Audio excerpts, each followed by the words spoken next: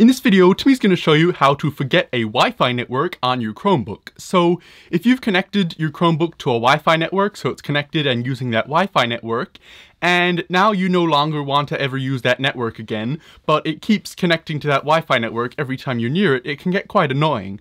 But there's actually a way that you can quite easily go into the settings of your Chromebook and make it forget that Wi-Fi network so that it will never connect again unless you tell it to. So, to do that, you'll just need to be on your Chromebook, obviously, and then come down here and click on this little thing down here, and then click on the cog icon or the settings icon that's up here. So click on that, and then you'll be in the settings of your Chromebook. So once you're in the settings, you'll see the top option here is network and Wi-Fi. So click on this little arrow here to go into the Wi-Fi settings.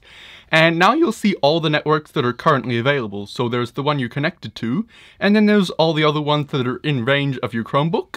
So there's this one here, Timmy's other Wi-Fi network, that Timmy has saved on Timmy's Chromebook, but Timmy no longer wants it to connect to ever again. So if there's a Wi-Fi network that you're currently within range of, and you want to forget that, just click on the arrow here next to that Wi-Fi network, and then you'll just see this forget button here. So just click on forget, and now it's forgotten the Wi-Fi network. So if you ever want to connect again, you'll have to click on the Wi-Fi network and then enter in the password. So will, you'll have to do it all again. So you still can, it's not like you can never connect again, but it will never happen automatically. So that's really good.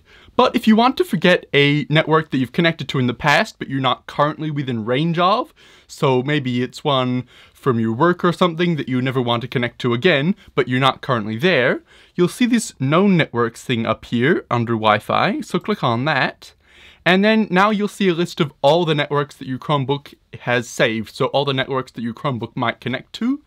And then you'll just see them all down here, and if you want to remove Timmy's router, just click on the three dots here and click on forget and then that will disappear from the list and it will never connect to Timmy's router ever again. So that's really cool and that's all there is to it. So you can close settings now and your Chromebook will never connect to those networks. So that's all there is to it. And if you found value in this video, please click on the thumbs up button down below. And if you want to see more videos like this, click on the subscribe button down below and click on the little bell icon next to the subscribe button to be notified every time Timmy makes a new video. So that's really cool and that'll be the end of this episode of Tech Time with Timmy.